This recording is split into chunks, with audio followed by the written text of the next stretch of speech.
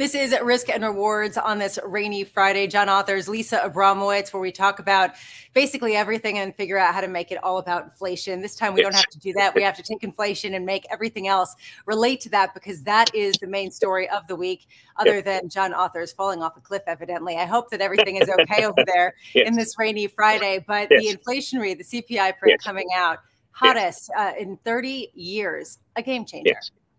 Yes, very much so. Very, very, very much so. Uh, I, I am on a phone for a change, everyone. So this is why uh, this is why the world is in less of a balance than uh, less of a balance than usual. The key thing I think about what we saw with uh, inflation this week is simply that the notion of transitory, in a sense that meant anything meaningful at all, is now over. People are complaining to me when I say this shows that this isn't transitory. That I'm somehow saying if it's not transitory, then it must be permanent that it's never going to end. I'm certainly not saying anything like that, but that um, uh, the levels at which we've reached are now plainly at the level where they, they won't go away without some kind of response. Uh, and it now be- behooves us all to try to work out how long this goes on and what to do about it, which are actually far harder questions, I think, than uh, whether it was something that would go away quickly. And there was another data point that came out uh, about uh, less than two hours ago that really highlighted the difficulty that you're talking about. Inflation could be good, it could be bad when it comes to the global economy. But right now, what we're seeing in the US economy is that consumer sentiment fell to the lowest in a decade yes. as a result of some of the inflationary pressures. Sounds really dire problematic. However, yes. on the flip side, you saw job openings uh, continue to come down just a touch, but you saw a record number of Americans quit their jobs for better paying yes. jobs elsewhere. This is not a weak labor market. No, it isn't. Uh, I guess that's one of the two key questions for the for the uh, for what happens to inflation next year is how strong that labor market is and whether it has an inflationary effect. Uh, we don't have the, the Atlanta Fed wage tracker data yet for last month, but the you know the most recent that we do have showed the biggest increases for people who switched job in I think it was three decades. Um, so you know, plainly, those who are switching are finding a big advantage to doing so. Um, if you look at the Michigan data, the other thing that's quite interesting um, is that it's one of those rare things where consumers, normal people, actually seem to think roughly the same way as the bond market. So, um, so the one-year inflation prediction is, uh, I from memory, I don't know my screen, but yes, high. And the recommendation for five years ahead didn't move and is still basically suggests that the Fed gets things back under control, right. which is exactly also what you get from the five-year break even compared to the five-year five-year break even in the in the tips market. So there, there is still a sense, um, and having been somewhat alarmist about inflation or negative about inflation for a long time, I think it's important to point that out that there, there is still quite a broad sense that this isn't going to run unchecked, that it does come under control within a matter of years. Okay, I'm going to channel Debbie Downer because I do that every day. I, the one concern that I have, and this is a significant concern, there is a difference between a slowdown and a recession parsing yeah. the hairs between the two can be difficult. And I'm not saying that we're heading toward recession by any means, shape, or form. Yes. Yeah. We have a very hot labor market by many gauges. Yes. But the fact that people don't want to buy items as much because they do not view the buying environment as favorable to them because of the inflationary outlook, mm. because mm. they expect it to be such a robust uh, pace of inflation over the next year. Yes. Raises questions about how much momentum we can have heading into a year that may be rocky. I mean, how much yes. have we brought forward some of the expectations, certainly in the asset pricing uh, of, of growth, and how quickly could we slow? This is a question that I think is is hard mm. to answer, and is one of the conundrums for the Federal Reserve, yes. where markets are expecting them to to tighten pretty yes. directly, and yet they're saying just wait. You know, the fiscal uh, cliff is coming. We have the runoff of stimulus. We have all of these things coming. We want to wait. People saying, "You really?"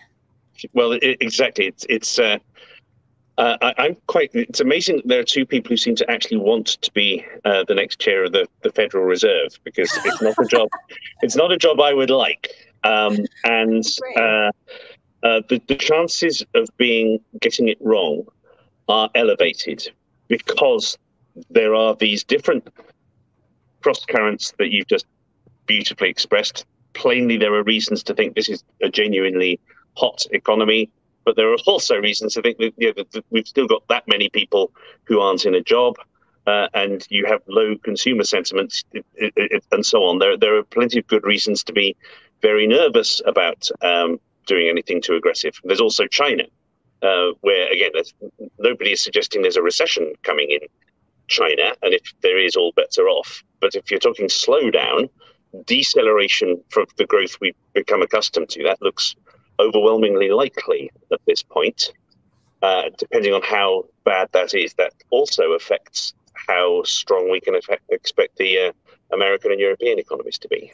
So I'm going to ask you what you think. Yeah. What's the bigger risk right now for the Federal Reserve? Hiking too soon and curtailing growth at a time when it is slowing down naturally uh, for a whole host of reasons.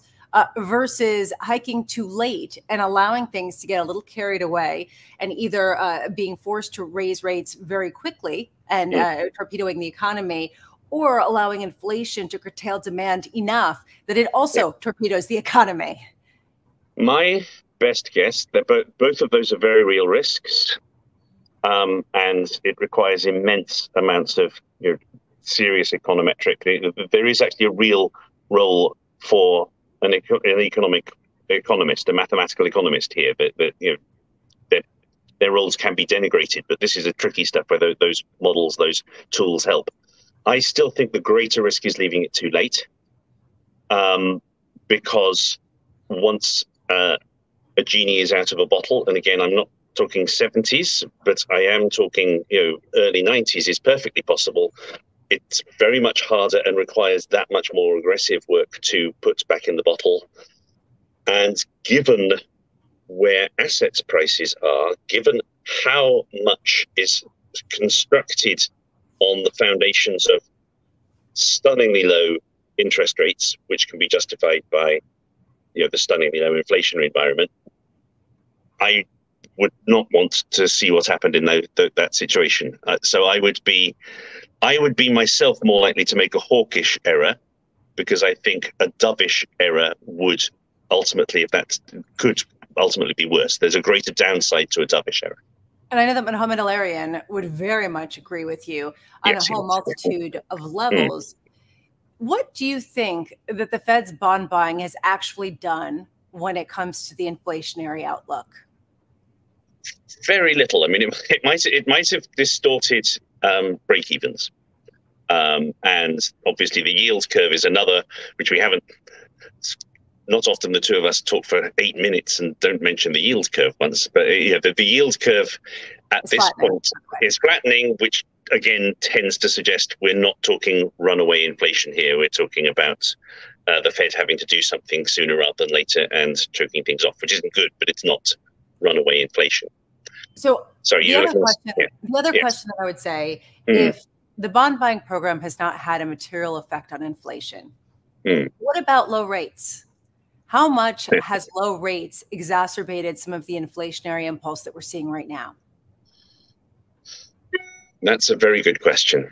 Uh, I think there you can certainly argue that even low rates, this, this, this I suppose is does get to the heart of why a hawkish, why I might be wrong and a hawkish error might be worse, because so much of the aspects of inflation that we have at this point is driven by supply, uh, and there's a, you know a cliche that is being used much more at the moment that that uh, that you shouldn't tighten into a supply crisis. Um, that said, once you see the sort of general pickup in expectations in inflationary psychology that we've seen. Uh, and that was what I thought was most alarming about the uh, report of earlier this week wasn't so much that the headline number went up; it was that uh, the components were just so much broader that, that, that most components are now above two percent. That that, that that sticky prices went up the fastest in some decades. That that, that are measured separately by the Atlanta Fed. That you know that those are all signs that uh, uh, that uh, that some kind of an inflationary psychology is taking hold, and that that needs to be uh, that needs to be counteracted. I would argue the yeah. one aspect of the uh, of the inflation read that really caught my attention was the rent increase the fact that rent prices are going up seems directly correlated. Some people would disagree with this. Some people would say it's just a supply demand uh, issue as well because uh, there were fewer houses built in the period from 2007 onward after the crisis. And so it was a supply issue and then sudden demand to move out of the cities. Other people would say it was fueled by the idea that mortgage rates were incredibly low and that people were buying yes. a lot of homes as an investment thesis. The broader issue to me is how much does this exacerbate? Some of the wealth inequalities the longer it goes on that the lower tier of income earners are going to struggle more with the inflation. Yes. They have fewer assets in the market getting propped up by some of these programs. And on the flip side, wealthy individuals will probably get paid more and are seeing some of the bigger increases in their wages at a time when they also have their money in the stock market. Exactly. I wonder how much that changes the conversation in the upcoming months as the Federal Reserve tries to target equality issues. And, yes. and, how do they parse this out? Because it's a very tricky thing to do while also not torpedoing the markets and the economy. Yes again again it, you know Lael and jerome thank you very much for being prepared to even think of doing this. The, the, I, I, think um, that I mean, this is a very profound issue. One other point I'd make on that: that the New York Fed does its own survey of inflation expectations, which they break down a number of ways. Uh, and what fascinated me was inflation expectations are two percentage points higher among those without uh, with high school diploma or less than they are among those with college degrees.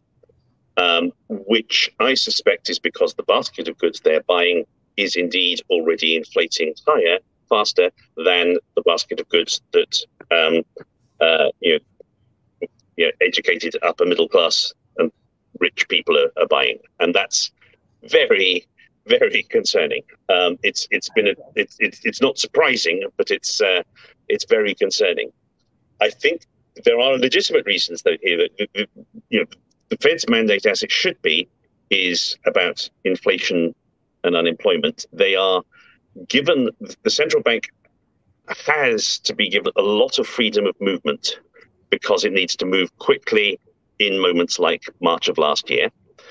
Um, I'm not sure it has the legitimacy to try to take on equality as an issue. There are obviously very beyond our pay grade as well. There are huge political principled reasons about whether one should try to uh, correct inequality or not. Um, I think it does make the it does make the job for the for the Federal Reserve very very much harder. I I, I, I, I don't have a good answer for you though. Well, no, but it's well said, laying out some of the issues. Before we go, uh, and we always end up running out of time, I do yeah. want to get your take on the big breakups. The idea that General yeah. Electric uh, ended its reign as its behemoth, breaking up into mm. three separate companies, and then this morning, Johnson and Johnson saying it was going to separate into uh, two. I'm wondering if there is a connector at all with these two very different companies mm. that they are trying to deconglomeratize at the same time. Yeah, there probably is. Uh, You're like, I don't know what it is. uh, well, well, no, there's the other one that fascinates me is um, uh, uh, part of this is generational, and part of this is that the the man on top is over ninety. But um, uh, Warren Buffett, who I think is actually about the same age as Jack Welch, is also out of favor. Nvidia is now a bigger stock by market cap than Berkshire Hathaway, uh, and Berkshire Hathaway ultimately is a conglomerate that happens to be run by the greatest stock picker ever to have lived, but it's a conglomerate, uh, and that's obviously also getting out of uh, out of favor. Um, the the notion now is the platform, Google, Facebook, the FANG stocks, rather than the conglomerates. It's not clear that the financing within a conglomerate is any better than just getting your financing from the market. I would also argue mm. that perhaps in an era of indexing where there's slicing yes. and dicing of the market yes. according to categorization, there's a lot more money if you specify your business because people can then target you uh, by funneling money through ETFs or other types of factor based funds into uh, your, your assets. I do wonder how much that's albeit yes. a much smaller factor, but something that's at play as well. We are out of time. I hope that you have a wonderful weekend, that you stay dry as it pours here in New York City and across uh, the North.